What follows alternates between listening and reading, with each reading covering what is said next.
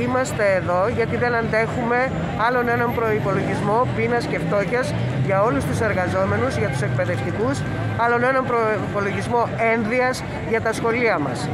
Είμαστε εδώ γιατί θέλουμε να κάνουμε Χριστούγεννα με το μισθό μας. Απαιτούμε εδώ και τώρα την καταβολή του δώρου Χριστουγέννων. Απαιτούμε 13ο-14ο μισθό. Απαιτούμε 20% αύξηση σε όλα τα κλιμάκια. Απαιτούμε να ξεπαγώσει το ΜΙΚΑΠΑ που είναι παγωμένο εδώ και πολύ καιρό.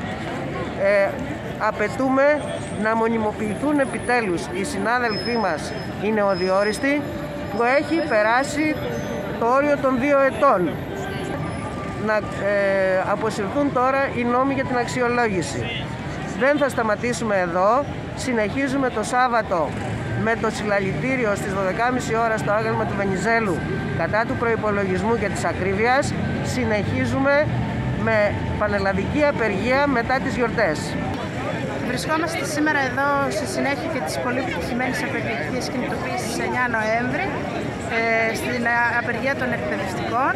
Ε, διεκδικούμε αυξήσεις του μισθούς μας, να δοθεί δώρο Χριστουγέννων άμεσα σε όλους τους εκπαιδευτικούς, να μονιμοποιηθούν όλοι οι αναπληρωτές και να λήξει η ομοιρία των νεοδιόριστων που δεν μονιμοποιούνται. Επίσης, καλούμε όλους τους εργαζόμενους και τους συναδέλφους στην κινητοποίηση των εργατικών σωματείων το Σάββατο στις 12.30 ώρα στο άγαλμα Βενιζέλου για τον κρατικό προϋπολογισμό.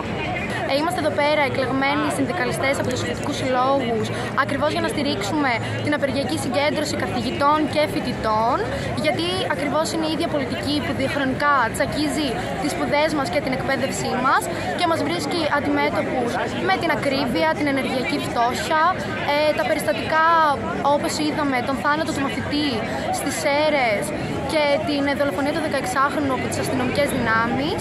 Και ακριβώς γι' αυτόν τον λόγο πρέπει να δοθούν ε, απαντήσεις για να ζούμε και να σπουδάζουμε όπως πραγματικά μας αξίζει τον 21ο αιώνα.